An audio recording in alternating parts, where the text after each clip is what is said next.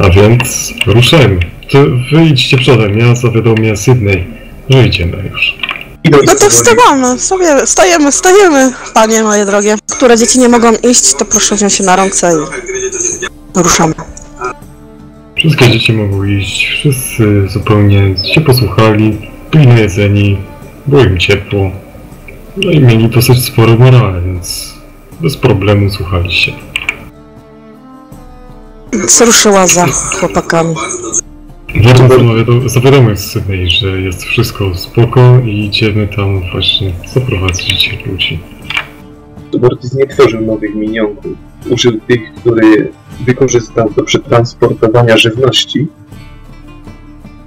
Jednakże dzięki swojej umiejętności nekromanckim skupił się na wykrywaniu życia wokół niego. Sport jest wykrył dookoła tylko skraj wilków, dosyć niegroźnych, dosyć też nawet daleko od tej grupy, więc nie zagrażało. Zajęła ustaloną pozycję i szła za całą grupą. Szła w środku, trzymając dwie dziewczynki za rękę. Rozglądając się. Jest, zi- jest zima. Ogólnie wszystko zaczyna zanikać z rosnącą wichurą. Tam będą ludzie gadać między sobą i plotkować itp. itd. Podróż zbija znacznie dłużej niż e, normalnie. Jakąś godzinę. Jesteście w drodze ciągle. Czy mi się wydaje, czy robi się coraz zimniej? Spytała Wardena. No owszem. Chyba mi się wydaje, że jest naszła ta pora i ta pora roku, że będzie wichura w tych stronach. Jeśli rozbijemy obóz, powinno być dobrze, ale jeszcze trochę drogi przed nami. To teraz pytanie zasadnicze, czy mamy rzeczy, żeby rozbić ten obóz?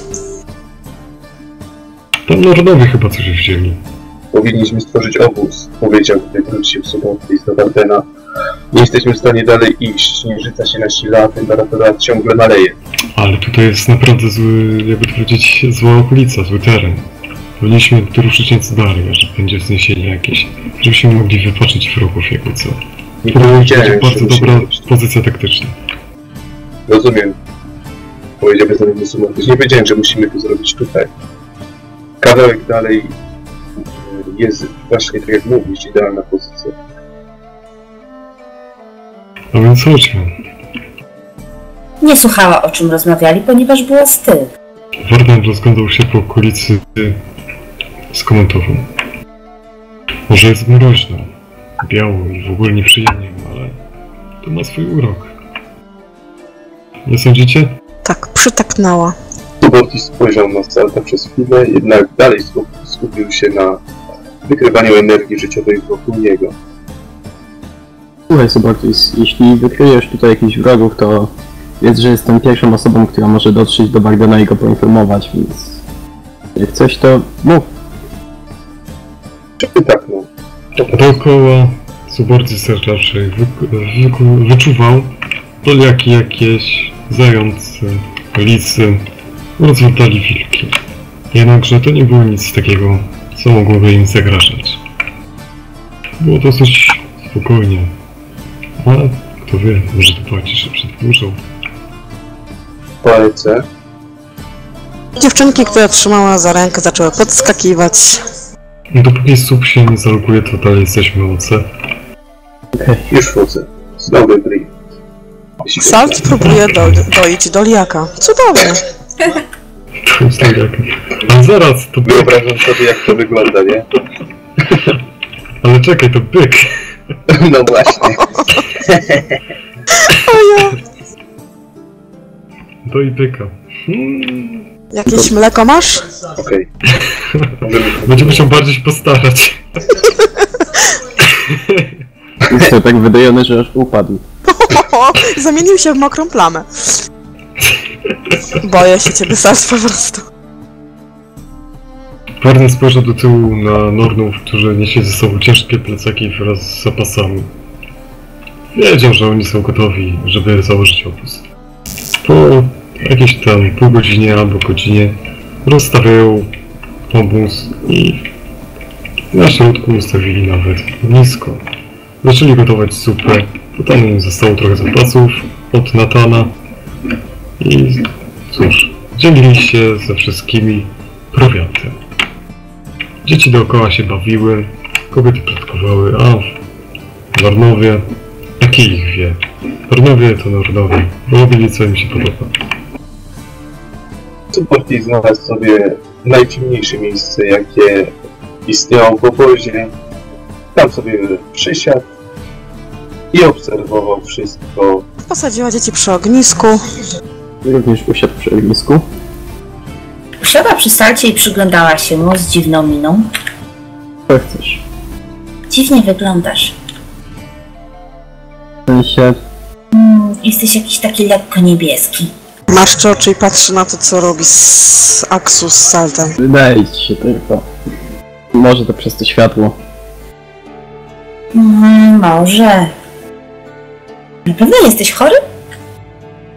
Nie, czuję się dobrze. Na pewno? Dyczekała. Ech, wiesz co? Trochę mnie to dziwi, że akurat ty się o to pytasz. Dlaczego cię to dziwi? Ech, chyba nie muszę ci tłumaczyć. Musisz.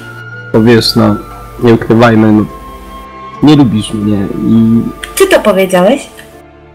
Uniosła brew i podeszła do ogniska i usiadła na ziemi. Czy ktoś widział...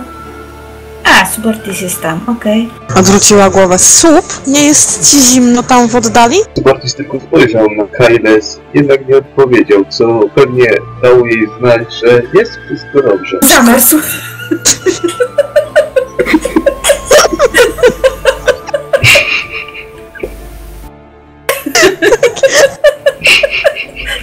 Widzę, że ognisko przygasa. Może coś poradzę. No więc spróbuj. Co po niektórzy zapominają, że jestem elementalistką ognia. Aksu przez cały wieczór męczyła Salta dziwnymi pytaniami. A wieczór zdawał się być bardzo, bardzo taki. Sad zmęczony pytaniami Axel postanowił po- podejść do Subortisa. Drewno zaczynało się męczyć. Trzeba było dorzucić nowego. Jednakże w okolicy nie było żadnego. Bartis spojrzał do podchodzącego do niego Salta. Jednak po chwili wrócił do swojej dawnej pozycji, czyli zamkniętego oka oraz skupienia. Aksu wstała, poszła poszukać jakiegoś toporka. Siekierki. Aksu. A ty gdzie idziesz? Aksu? Mm, spróbuję narąbać drewno? W nocy? Kobieta, żeby Sama?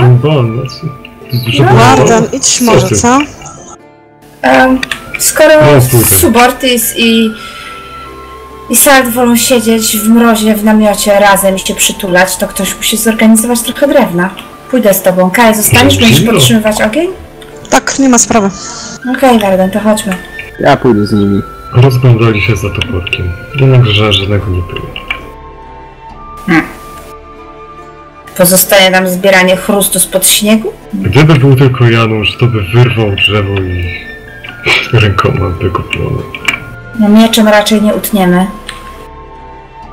Możemy ściąć Mm, konarów też trochę. Możemy umiesz się wspinać po drzewach? Mm, mogę spróbować? Okej.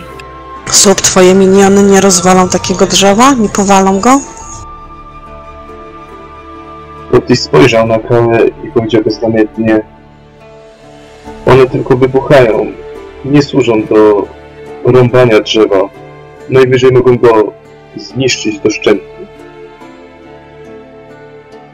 Westchnęła ciężko. Spojrzał na Salta. No i co teraz, mistrzu? No cóż, jako że posługuję się mieczem jednoręcznym, trochę ciężko by byłoby mi ściąć to drzewo. Może gdybym miał tyle siły co Janusz. No ale nie Mm. mówimy o całym drzewie. Mówimy, żebyś się wspiął i żebyś spróbował odciąć trochę gałęzi. My nadal będziemy je zbierać i nieść do ogniska, żeby się jeszcze trochę podsuszyły, póki KM ma siłę, bo w końcu skończy jej się zapas fizycznej energii i będziemy marzli. Zamarzniemy. Dobra, no to się wspinam. Zrobił tak jak się powiedział. spina, jednakże drzewo było śliskie, musiał bardzo uważać. I uwaga tutaj losowanie kostką, czy mu się uda.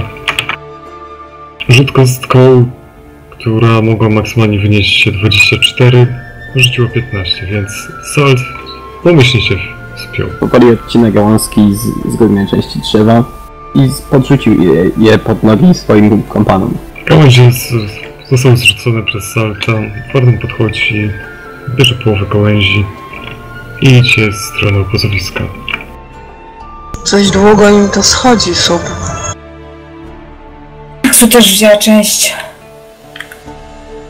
przygotowanych gałęzi i ruszyła w stronę obozu. No ja jeszcze pościnam trochę i postaram się wrócić. Wrócili do obozu, no i podłożyli, no i Warden podłożył to ogniska, żeby to mogło się dłużej e, palić. Coś długo wam zeszło. Gdzie byście byli? A, to Ksu odłożyła swoją część koło ogniska, żeby się trochę wysuszyło. Trochę musieliśmy iść, ale cóż, nie było żadnego toporka i musieliśmy improwizować. Nie? Na szczęście Salt umie się wspinać po drzewach. No, udało się.